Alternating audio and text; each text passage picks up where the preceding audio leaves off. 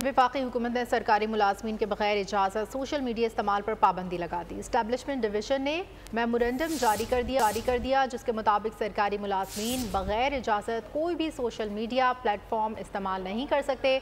सरकारी मुलाजिम बगैर इजाज़त सोशल मीडिया की कोई ऐप इस्तेमाल नहीं कर सकेगा। सरकारी मुलाजमीन के बगैर इजाज़त सोशल मीडिया इस्तेमाल पर पी टी ए हुकूमत ने पी टी आई हुकूमत ने भी पाबंदी आयद की थी।